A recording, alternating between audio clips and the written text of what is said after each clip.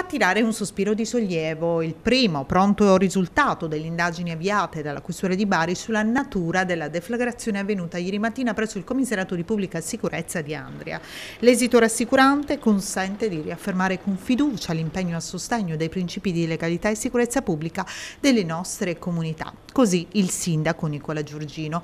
Sino al tardo pomeriggio di ieri l'ipotesi prevalente è stata quella di un attentato, anche se la matrice era difficile da individuare sulla dinamica rimanevano diversi punti interrogativi.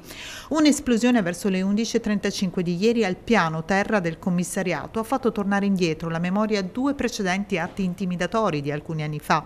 Invece, dagli accertamenti della polizia è emerso che la deflagrazione, che ha provocato due feriti lievi, è stata causata da un reperto sequestrato e custodito nei locali del commissariato, consistente in un barattolo di conserva di pomodoro con all'interno sali e zucchero. L'esplosione si è verificata nell'androne del commissariato al piano terra in prossimità dell'ingresso, subito dopo che un addetto alle pulizie, uno dei due feriti, aveva appoggiato sul pavimento un bustone di rifiuti in cui aveva riversato quelli più piccoli raccolti negli uffici.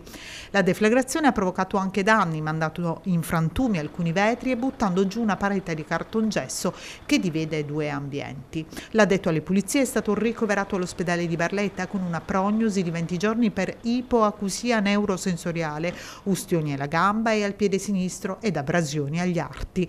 Anche un dipendente della Polizia Municipale di Andria, presente al momento dei fatti negli uffici del commissariato, è rimasto lievemente coinvolto nell'esplosione, riportando contusioni guaribili in cinque giorni.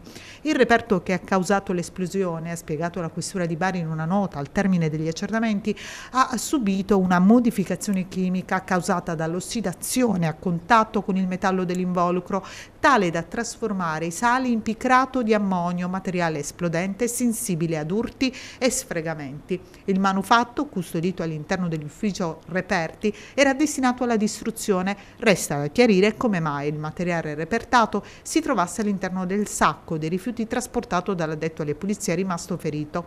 L'episodio aveva indotto nel corso della giornata reazioni preoccupate, soprattutto dal mondo politico, a cominciare dal primo cittadino Nicola Giorgino. Poi in serata l'esito degli accertamenti che ha fatto tirare a tutti un sospiro di sollievo pur nella singolarità dell'episodio.